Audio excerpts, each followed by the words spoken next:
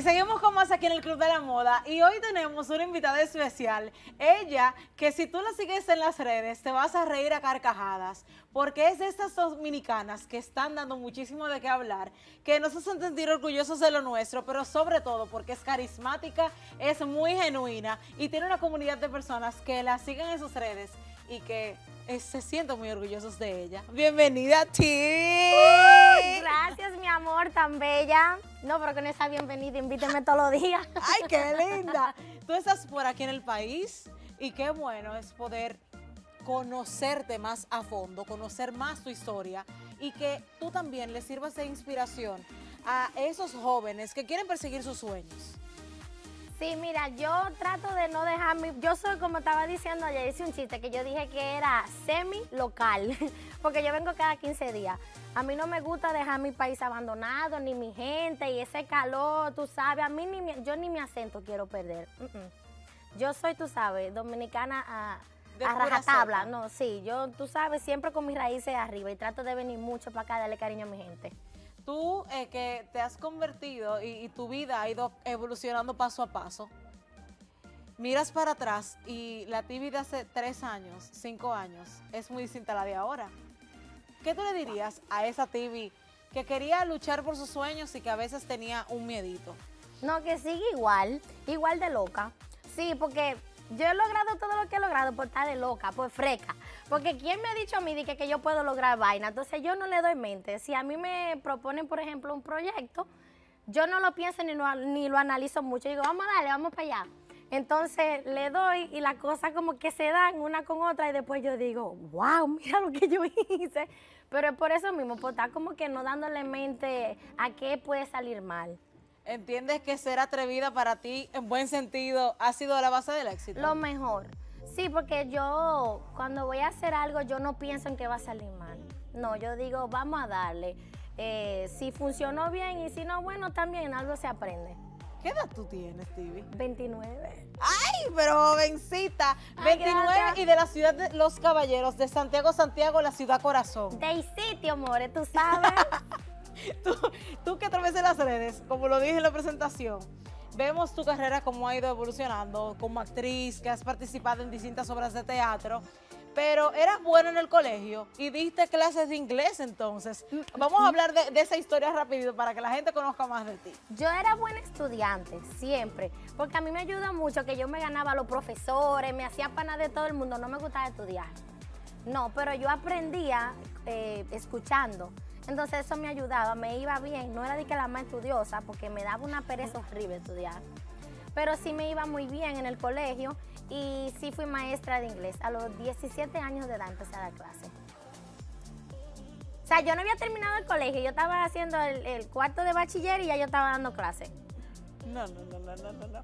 Y vemos cómo a ti siempre te ha gustado la comedia, pero por ya estando contigo en varios segundos, yo me doy cuenta que tú eras el coro del curso. More, yo soy la comedia en persona, para que tú estés claro. Mucha gente me dice de que, ay, es un personaje que tú tienes, tú no eres así, dura tres minutos conmigo para que tú veas. Yo soy así 24/7. ¿Y qué te hace levantarte el ánimo cuando tú estás en días difíciles? No, yo me cojo esos días para mí. Cuando yo tengo como que esos días, sí, porque todos tenemos días que, que no Claro. estamos bien y quiero que la gente sepa que eso es normal, que nosotros las personas del medio, aunque ustedes nos vean muy contentos, nosotros los comediantes tenemos días de baja. Yo esos días me permito ser yo, voy a McDonald's, me compro un helado, el más grande que tengan, con papita frita, me tranco, o sea, me, yo, yo les digo eso un break de la vida, me doy un break de la vida, me desconecto de todo, me siento en el carro, porque yo no sé por qué tú, cuando uno está fregando y en el carro, es que uno se pone más pensativo. Entonces, yo agarro en el carro ahí y me pongo a comerme mi helado con mi papita y me relajo y digo, lloro lo que lloro, hago lo que tengo que hacer y ya el otro día ya amanezco bien. Yo lloro mis problemas.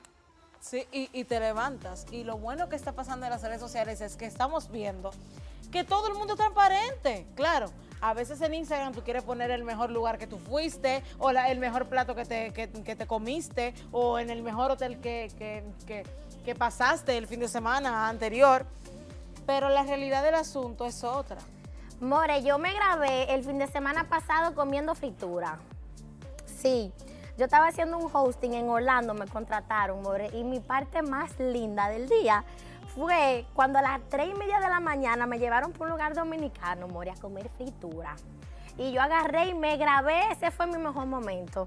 Sí, ustedes me están viendo que yo te dije que me iba a arreglar y vaina, pero eso es porque yo venía a verte a ti.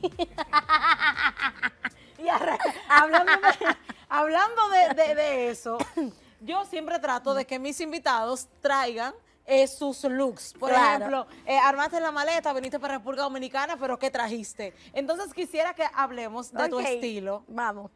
¿Cómo tú defines el estilo de TV Camacho? Cómodo y básico.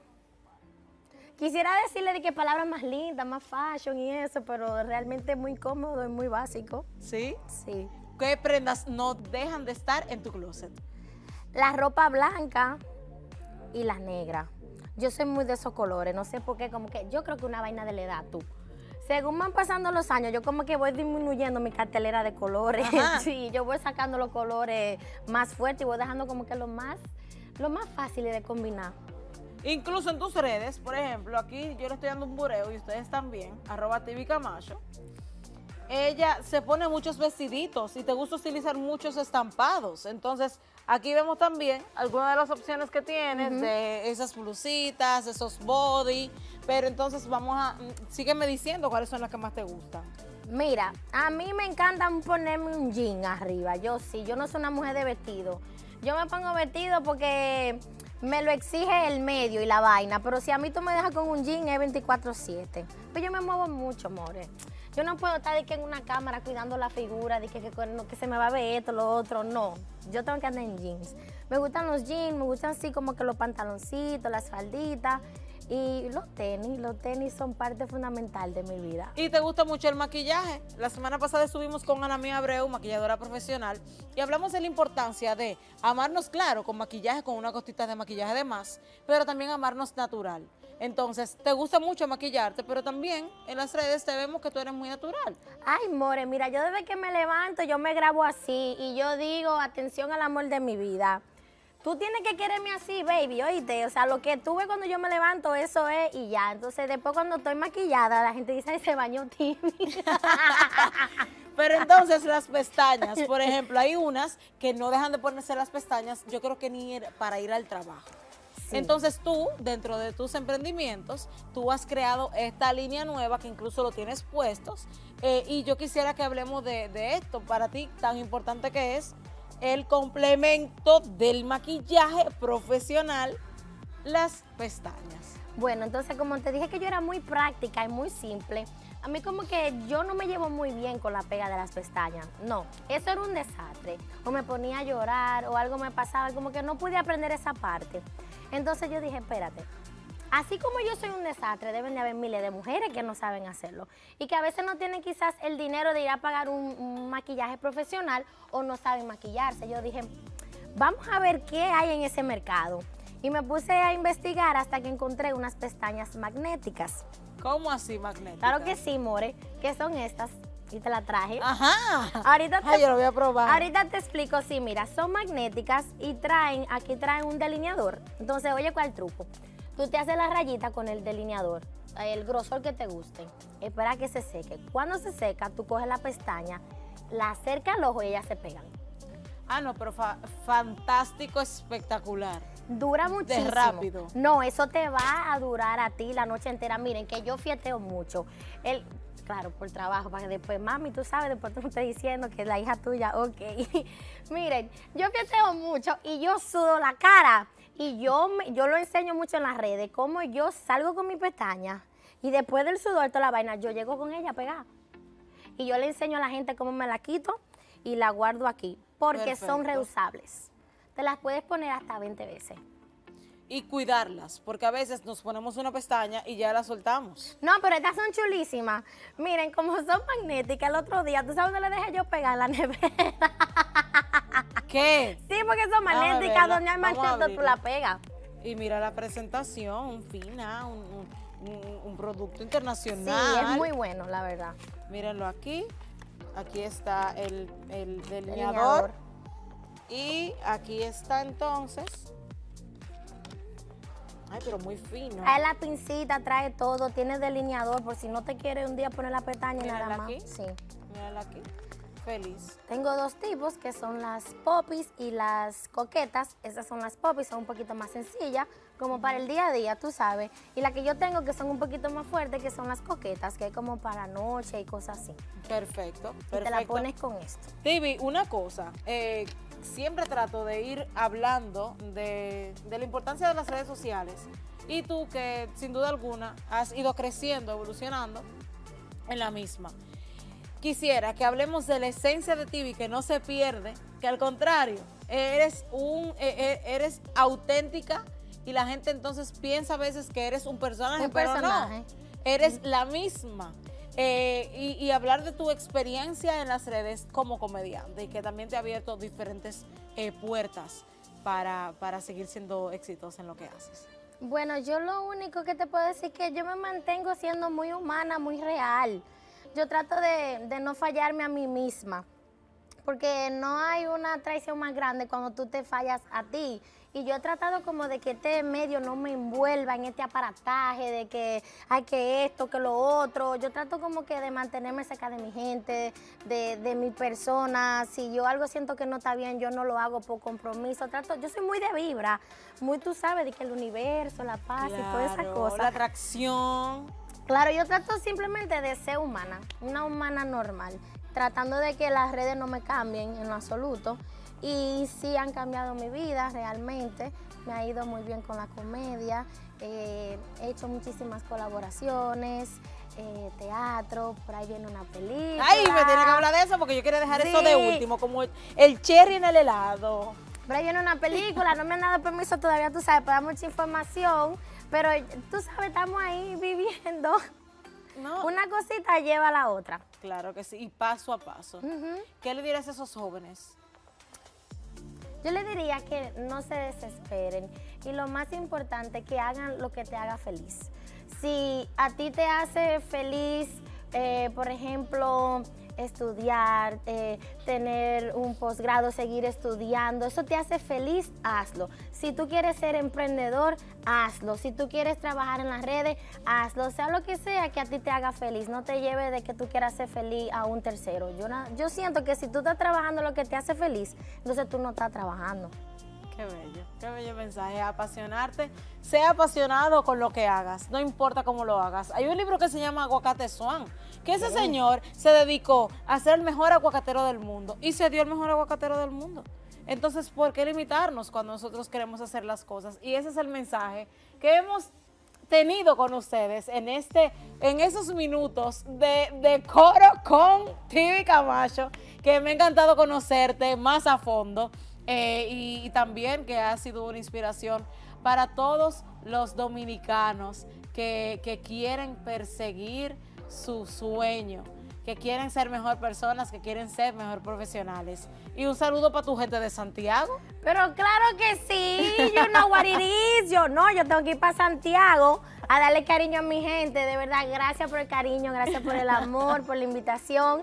La pasé súper. Eh, a los capitalinos que no se me pongan celosos, amor. que yo igualito lo quiero. Aquí hay amor para everybody. Claro que sí. Muchísimas gracias por estar con nosotros y abrazos a nuestra querida Kenny Valdés. Un orgullo para la comunicación dominicana.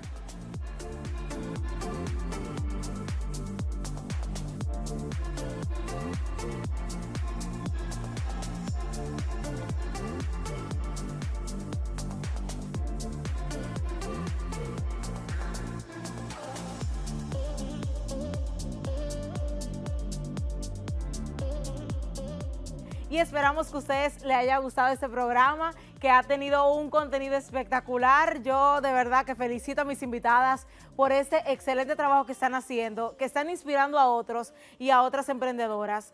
Señores, República Dominicana, como dice el el- el eslogan, lo tiene todo. Tenemos los mejores diseñadores, tenemos los mejores emprendedores que están visitando ferias internacionales, que están llevando lo mejor de nosotros, pero a la misma vez es tu apoyo el que necesitamos, es tu apoyo el que necesitamos para que cada uno de ellos pueda seguir creciendo, para que pueda seguir evolucionando y para que la economía en República Dominicana señores, esté en su mejor momento. Una economía naranja digna de admirar de distintos países del mundo. Y yo que tengo este compromiso de llevarles a ustedes cada semana, lo hago con todo el amor del mundo, lo hago con la dedicación y con la pasión, porque yo amo lo que hago. Y así los invitamos a ustedes a que hagan, que vivan lo que quieren, que si tienen un sueño, que lo busquen, que lo consigan, que vayan eh, tocando puertas, que vayan escribiendo las cosas que quieren para que puedan lograrlo, porque nada es imposible y con Dios nada es imposible. Así que esperamos que les haya gustado este programa. Sigan las redes de nuestras invitadas, arroba alidantes, arroba evas.garden, arroba tibicamacho, arroba iris como icono de moda y nuestras redes sociales, arroba fashion freak club rd y arroba el club de la moda TV. También nos pueden visitar en www.elclubdelamoda.com y ahí podrán ver las noticias que tenemos, los reportajes, invitados, entre otros. Y si quieren volver a ver el programa, pueden ir a YouTube a ver las entrevistas de los programas pasados para que ustedes también, si se lo perdieron, lo puedan compartir. Será hasta la próxima. Que Dios les bendiga.